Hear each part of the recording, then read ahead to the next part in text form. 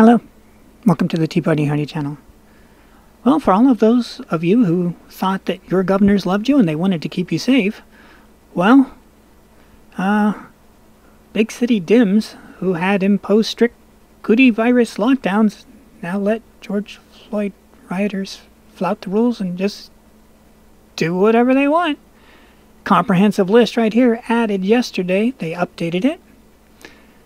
Michigan, all of a sudden, Whitmer, the most draconian governor of them all in regards to her citizens, not her husband, who was getting a boat. Um, yeah, suddenly, now that there's all these riots, she's going to let everything open a week early. Well, isn't that convenient timing? And on the fourth day of protest, Newsom tells his demonstrators, Your rage is real, express it. Even though he's got an actual ban in place that he's being sued to, to allow protest. But no, no. If you agree with us, then we'll let you riot. And if we agree with you, governor's back, massive protest after months of banning large gatherings. There is no fear of the cootie anymore, but you still have to wear a mask. Even though I like what I read the other day, quickest way to make the government stop stop people from wearing the mask is mandate that it say on the mask Trump 2020 or MAGA. Suddenly, they'll be like, nah, you don't need a mask. It's all good. And there is no science behind non medical mask to begin with. There's not. If there is, put it in the links down below. Want to see it? We'll make a video of it. Governors back massive protests after months of banning large gatherings. Democratic governors said they support large scale protests. We just seen Newsom's, we just seen Whitmer's. A reversal from mandating social distancing and lockdowns since March. Yeah, and Newsom even has a law saying you can't do it. But on the fourth day of protest, he got out there and said, You go for it. I'm on your side. We don't need a constitution. We don't actually need law and order. I don't really have this job. Because you can't be a governor if you actually, if nobody's supposed to follow the laws, then you don't really have a job. He noted earlier in the day, though the protests could exacerbate the cootie. Oh, this is Cuomo. Ah, uh, yeah, let's see. I stand behind the protesters and their message. New York Governor Cuomo. So Cuomo's in on the game, too. So the bigger the blue, the bigger the dim, the more you just spun 180 on your stance on protest. It was de Blasio who said you couldn't protest in New York City.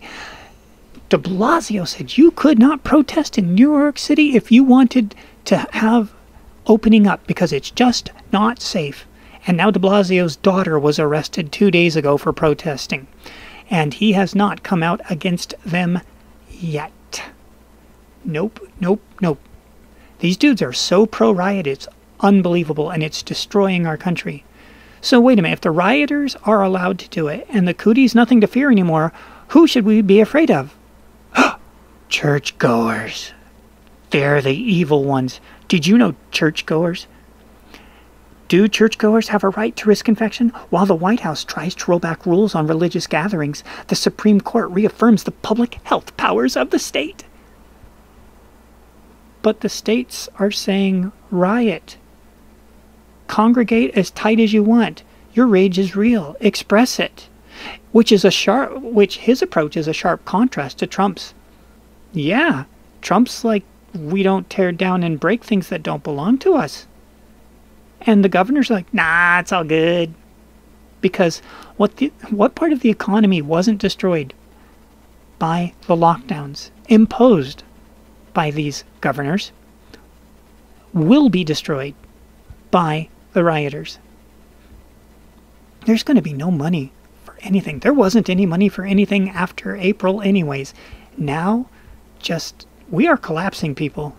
We are really collapsing. Don't know what it's going to look like, but here's the rundown before we close out this video. We have a pandemic. We have a lockdown. We have $26 trillion in debt. We have over 40 million people unemployed. And now we have curfews and riots, curfews and and lockdowns. Now the curfews and lockdowns. So you're double, you're, you, it's double secret probation if you're on lockdown and curfew. But again, can a country survive a pandemic mixed with a lockdown, mixed with $26 trillion in debt, mixed with over 40 million citizens unemployed, mixed with riots. Can a country survive that? Oh, wait, let's add one more thing to the list. The election is in November, and both parties have already established that it's going to be a fraudulent election. It will be it will make the election of 2016 and the election of 2000 seem like, oh, those were sure things. Actually, they were sure things. But nonetheless, they're going to do it again. So, will we make it into, will we make it to Thanksgiving? Will we have a reason to be thankful? It's not like countries haven't fallen before. It's not like empires haven't fallen before. And remember what Abraham Lincoln said we'll never be conquered from outside. We will die by suicide. If we are to, if we are to die, if it is our fate to die, we will die by suicide. We will die by suicide. Pandemic? That's not suicide. Lockdown? Oh, yeah, okay, maybe. $26 trillion in debt? Yeah, okay, maybe. 40 million people unemployed because of the lockdown? Yeah, kind of see what you're saying there. And, um, yeah, riots. Yeah. And not only do we have the riots, we have all these governors, blue state governors, thank you, supporting them. The blue state governors supporting the riots. On the fourth day of protest, Newsom tells the demonstrators, rioters, Your rage is real. Express it. They're on the side of a collapsing country. I don't think they understand they won't have a job when it's done. And they'll most likely land up alongside of a wall that's typically what happens. America broke those rules and actually treated the losers rather benignly, actually. Just like, eh, sorry your side lost. Would you like cheese with that? Whereas all the other countries and the ones that these blue state governors idolize, nah, they're more the against the wall when you lose. Here, rest your weary head on this stump. Okay, have a headache? Not for long. And the list goes on. I don't know if we'll survive this. But if we do, it's going to be something. Because there are so many people fighting to destroy this country, and they're they're in charge. the ones fighting to destroy it are the ones that were elected and sworn oath to protect the Constitution. And they're doing everything but. Kind of scary. It's a good thing we're all on double secret probation now with curfew and lockdown. Be safe, be careful, and be aware. We'll see you in the future.